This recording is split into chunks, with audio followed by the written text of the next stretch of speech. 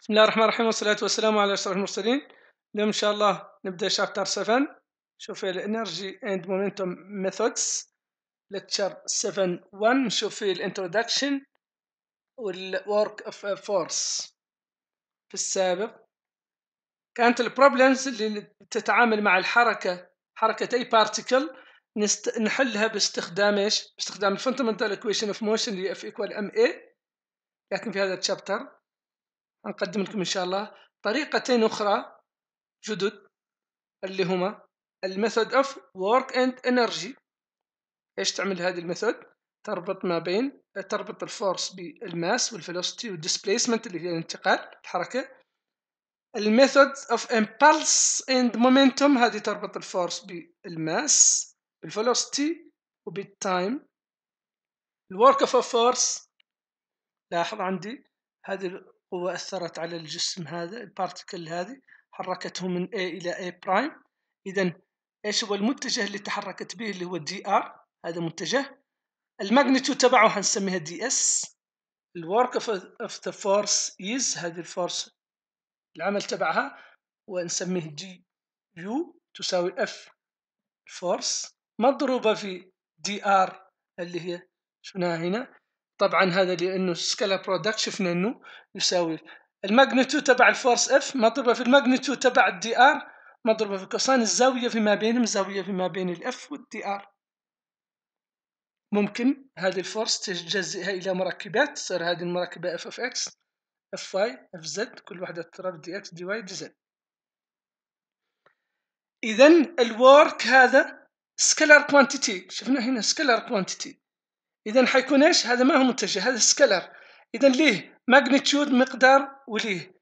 إشارة يعني موجب أو سالب لكن ما له direction الوحدة تبعه هي وحدة ال force.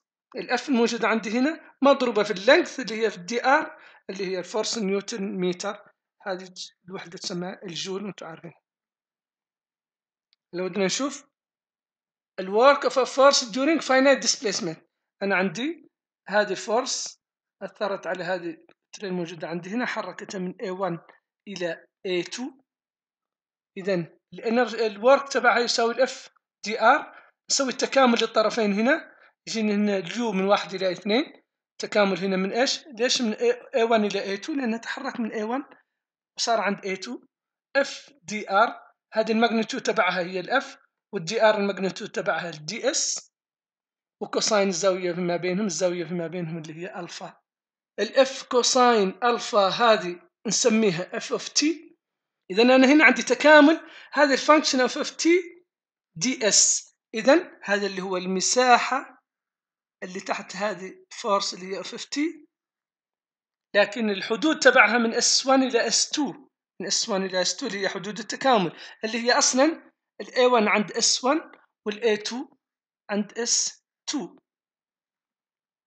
إذا ال work هنا نقدر نجيبه عن طريق التكامل. هذه ال force من S1 إلى S2 هلا بدنا نشوف ال work لكن في a constant force on in rectangular motion. إيش ال rectangular motion لما تكون الحركة على خط مستقيم. إذا تحركت من A1 إلى A2 الاتجاه هو هذا صح؟ هذه هي المسافة اللي تحركها دلتا X هذه هي القوة. إذا ال F مضروبة في دلتا X و cosine الزاوية ما بينهم لما نتكلم عن ال force of gravity قوة الجاذبية أنا عندي هنا ال weight صح؟ نحن قلنا إنه ال work إنه يساوي له مركبات ثلاث مركبات المركبة هل هنا في force في اتجاه الإكس أكسس؟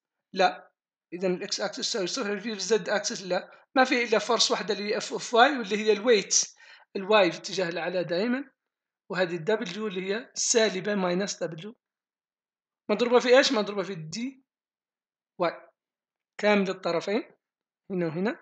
كامل Y dY تجيني ال Y اللي هي تساوي Y 2 minus Y 1 Y 2 minus Y 1 اذا ال work تساوي minus W دلتا Y يقول لك هنا إنه دلتا Y إيش هي؟ هي vertical displacement from A1 إلى A2 هذه vertical المسافة العمودية تسمى الدلتا.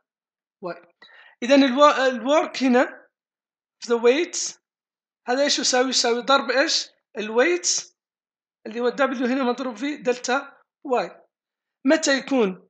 لما تكون الدلتا Y هذه سالبة حيكون إيش؟ ال work positive لاحظ هنا دل... هنا عندي إشارة سالبة. إذا كان الدلتا Y سالبة حيكون سالب سالب موجب. إذا يساوي عندنا ال work يكون عندنا موجب.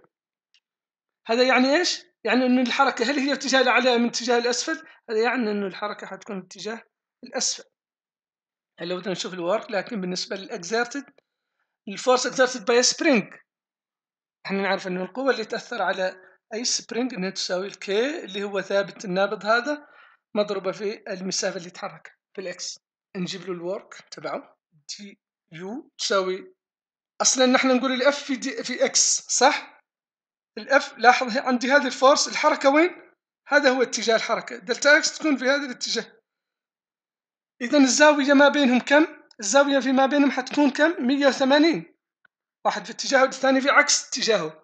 اذا cosine الزاوية 180 إيش يساوي؟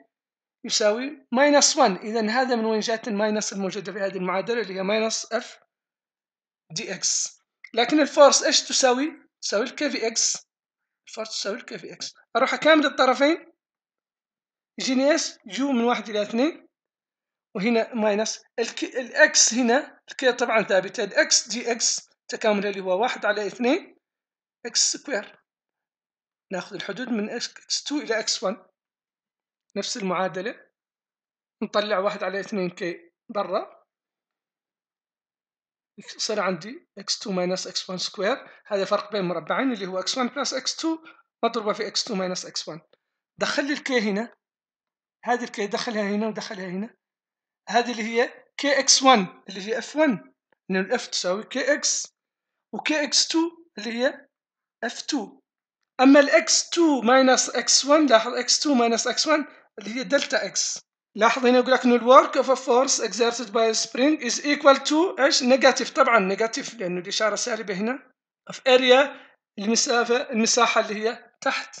Under f plotted against x اللي هي تحت ال X لاحظ هذا إيش هو؟ هذا شبه منحرف. مساحته هي لاحظ الارتفاع اللي هو دلتا X مضروب في إيش؟ في مجموع اللي هو الأضلاع اللي هو القاعده الكبرى والقاعدة الصغرى وهذا الكل مقسم على اثنين.